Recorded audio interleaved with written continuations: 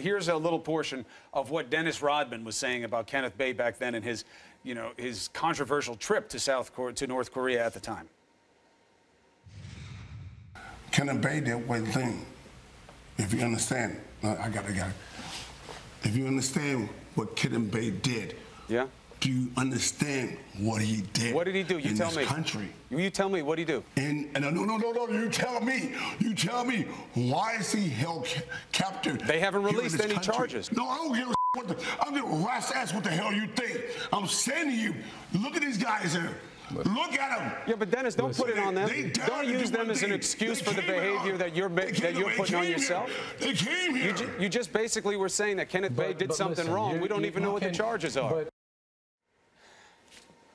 What sense did you make of that situation? What do you think he was suggesting that you had done? Well, I believe that um, at, you know, I believe that he was um, maybe he was upset for something else, and I believe that um, he did apologize to our family, and afterwards, I He do believe that right? it was sincere apologies. You think But- that he was uh, convinced by things from his friends in North Korea that maybe he didn't understand himself? Well, no, there's no way knowing that. But I just want to well, I thank Dennis Rodman for being a catalyst for my release because his rant the, um, and my uh, you know, media attention on my plight was increased. So if I meet him someday, I just want to say thank you for, um, you, know, you know, for what he has done that really brought attention, international attention for my plight. So Kenneth Bae Yeah.